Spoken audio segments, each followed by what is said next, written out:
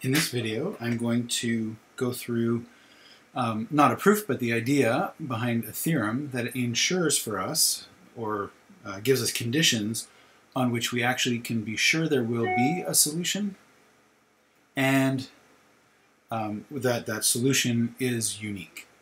So um, I'm going to sort of jump around. Well, first I'll read through this whole definition, and then I'll sort of give you some drawings to give you the idea of what's going on. So consider that we have a function f and that's going to be the right-hand side of our differential equation. So, so far we've talked, uh, well, I guess we've talked about a lot of different things. So let me, let me keep going through this. So um, this function f, if it's continuous, it, it's, the function is continuous and its derivative with respect to y are both continuous in some rectangle. So the way we can think about this is if we have the plane here with t on this direction, and y in this direction. So there's a whole plane of y and t values, and f is a surface above this plane, and it gives you the slope of y at any ty coordinate in the plane. So if you're along some solution like this, and you pick a point here and you want to know what should the slope be, before you have a curve going through that, you're just saying like, if I had a solution going through this point, how steep should it be? So you look at the surface above it to evaluating this f function, and that value tells you what the slope should be. And so that's the function f that we're talking about. And if this f is a nice continuous function, then um, on some interval, so I'm going to draw an alpha here, and a beta here, and a gamma here, and a delta here. And so if I draw this box, I'm just going to look at a little window in this box, in this whole plane, just inside this box. So if f is nice and continuous and its derivative with respect to y is continuous in a box like this, and we have an initial condition at some point t0 comma y0, then in some interval around t, so there's some little interval that's smaller than, it's not as far away as alpha or beta. So I have some little interval here, at least. And often that interval extends maybe to the entire alpha and beta, but at least some little interval, there is a solution, and it's unique to the initial value problem where I have to solve the ODE and go through that point. The initial condition is that point, and the y prime equation is the ODE. So, and that's going to, you know, the only guarantee we have, the solution may continue beyond that, but the only guarantee we have is for a little while at least.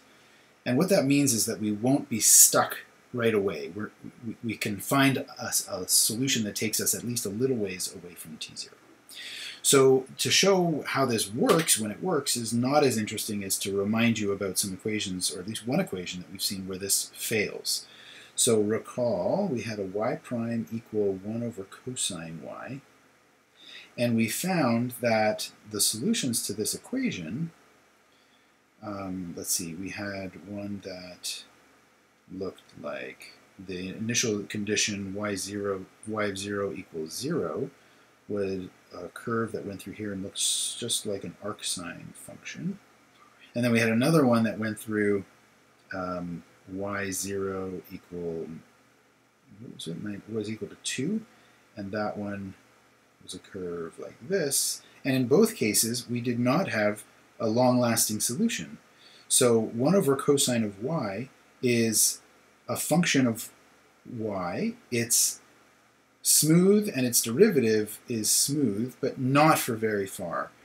Cosine has trouble at pi over 2, and the derivative of it, sine, uh, oh, well, that doesn't end up in the denominator. But that's a, the problem, the, the one problem we definitely have is if we, if we define f of t and y to be 1 over cosine, so there's no dependence on t explicitly here, so the t is just sort of carried around to make it look like the theorem's conditions.